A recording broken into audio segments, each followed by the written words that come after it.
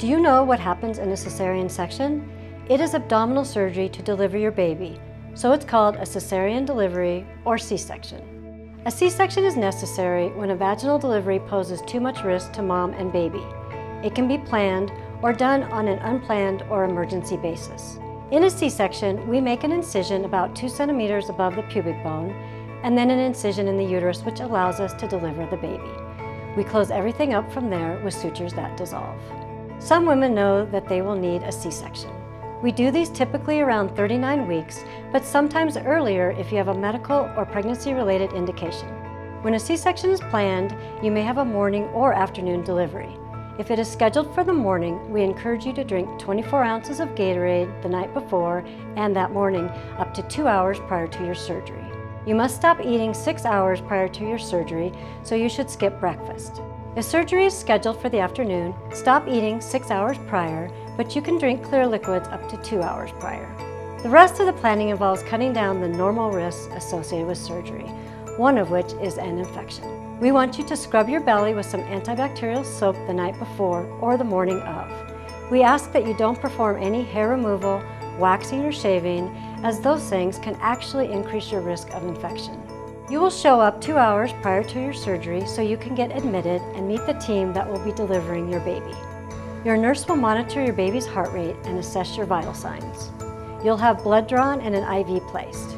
Next, you'll be positioned comfortably on the bed and a catheter will be placed in your bladder. You'll be covered in warm blankets with your belly exposed, which will be cleansed with a special cleanser designed to prevent infections after your surgery.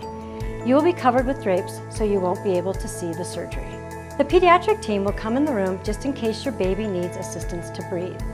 As soon as your baby is stable, we'll place it on your chest for the critical initial skin-to-skin -skin bonding time. You'll be cleaned up and transferred to the recovery room. You can expect the recovery period to last about two hours. You'll be transferred to your postpartum room as soon as your room is ready.